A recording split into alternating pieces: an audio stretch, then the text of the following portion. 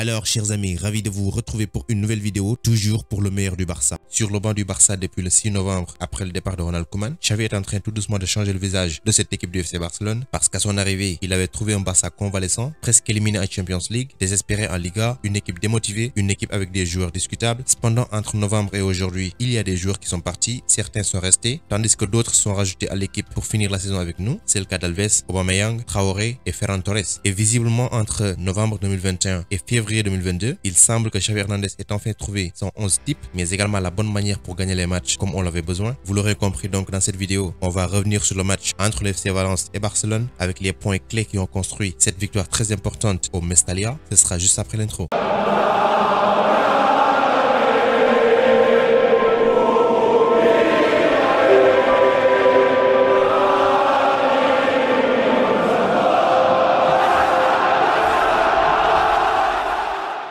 Commencer, je vais parler de deux joueurs, Serginho Dest et Araujo, mais Dest en premier. Il a connu en défense un match mitigé d'une part. Il y avait des bagarres constantes avec Brian Hill et alterné perpétuellement entre le côté gagnant et le côté perdant dans les duels. D'un autre côté, ses passes dans le milieu et dans le dernier tiers du terrain ont été essentielles aux activités offensives du FC Barcelone, mais dans l'ensemble, son match était plutôt correct. Malheureusement pour lui, il n'a pas pu profiter de l'absence d'Alves pour essayer justement de convaincre Xavi parce que face à Naples, il est rentré seulement à la 81e pour remplacer Oscar Minguesa qui malgré le fait qu'il joue au poste droit, c'est pas son poste. Et ensuite, une prestation moyenne face à Valence ne le met pas devant. Après Sergio Dest et son match, j'ai envie de parler du match d'Araujo, qui nous a encore une fois sorti un match de fou, alors qu'il a forcé pour jouer. On avait que Garcia et Minguesa, parce que Piqué était absent, Langlais absent, Umtiti absent. Il s'est bien occupé de Hugo Duro, et durant tout le match, le provoquant à obtenir un carton jaune. Même s'il a été mis dans des situations périlleuses à plusieurs reprises dans ce match, il a su les gérer avec maturité et engagement. Alors c'était un match très important. Le Barça voulait rester dans le top 4 et le FC Valence voulait intégrer le top 10. C'était un match divertissant pour toute personne neutre avec 5 buts marqués et encore mieux pour les fans du Barça que nous sommes. C'est une victoire qui intervient 3 jours seulement après le nul très frustrant face à Naples en Europa League. Une rencontre où on s'est senti très limité compte tenu de la mauvaise qualité qu'on avait dans les finitions avec plus de 20 frappes. Cependant hier on a tenté 6 tirs avec 4 buts. Cela sert de regain de confiance mais il n'y avait pas que les buts, il y avait d'autres paramètres également qui sont aussi très importants et à prendre en compte. Quels sont donc les chiffres qui ont fait ce match un match exceptionnel et dans tous les sens? La première sensation dans ce match c'est Pedri Gonzalez. Malgré qu'il soit rentré en deuxième période après une première saison plus que réussie avec le FC Barcelone et aussi avec sa longue absence qui s'en est suivie, il reste toujours le même joueur et cette saison il semble avoir enfilé des bottes de buteur. Il a désormais marqué deux buts lors de ses six derniers matchs. Il a marqué face à Bilbao et contre l'Espagnol Barcelone. Hier face à Valence en seulement 30 minutes de jeu, il a participé à sa manière au troisième but de d'Aubameyang parce que c'est lui qui à la base. Il a aussi réussi à toucher le ballon à 40 reprises, deux dribbles réussis, deux dégagements et 5 récupérations de balles. Donc il a fourni en 30 minutes tout ce qu'on pouvait demander à un joueur remplaçant parce qu'une fois sur le terrain, il a à chaque fois traumatisé dès que l'occasion se présentait la défense adverse. Défensivement, il était aussi assez rigide et pourtant il a seulement 19 ans, pas encore les 20 ans. Il est à 62 matchs avec Barcelone, marquant 6 buts avec 6 passes. Juste après le match en conférence de presse, il a fait craquer Xavi. Mais je pense qu'il n'est pas le seul parce que nous sommes tous éblouis et comme il l'a dit, on doit le protéger et prendre soin du joueur parce qu'il peut devenir dans le futur l'icône du milieu de terrain de Barcelone, tout comme Gavi, tout comme Nico Gonzalez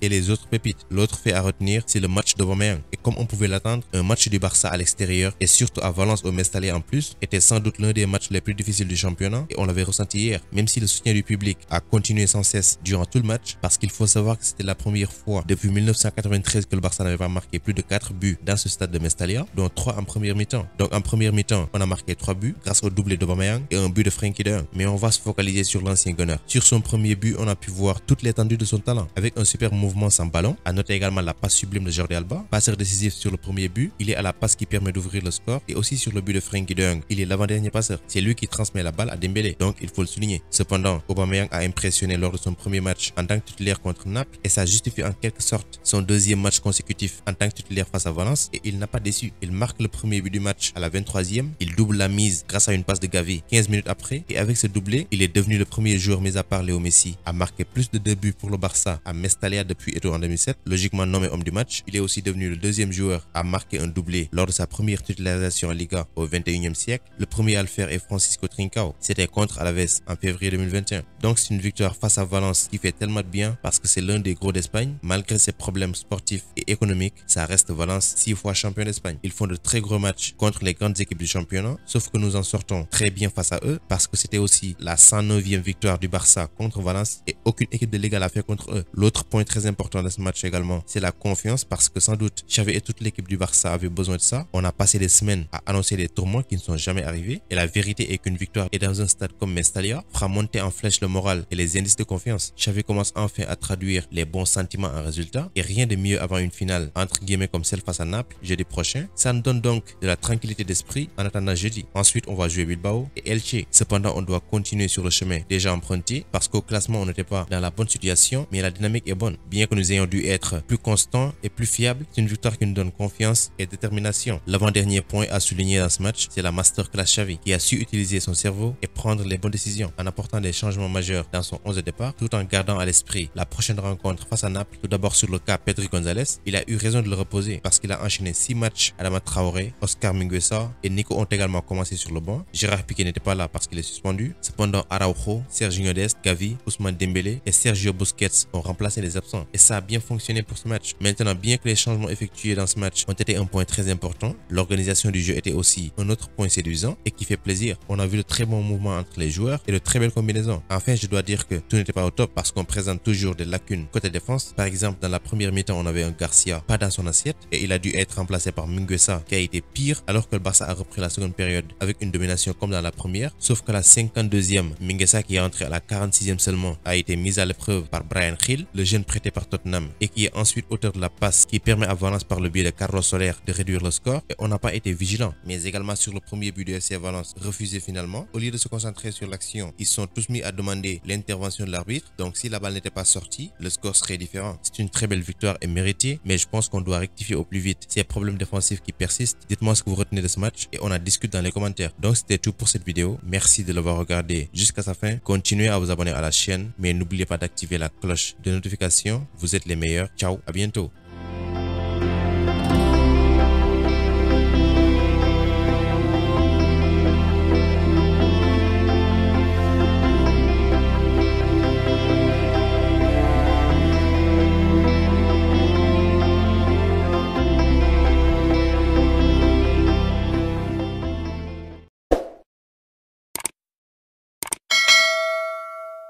Vous êtes nouveau sur la chaîne, abonnez-vous, activez la cloche. Ça peut se faire en moins de 30 secondes. C'est gratuit et pour élargir la communauté, partagez la vidéo s'il vous plaît. Pour échanger avec moi directement, c'est possible sur Instagram. Le lien se trouve dans la description, donc rejoignez-moi là-bas, ainsi que sur Twitter et même sur Facebook.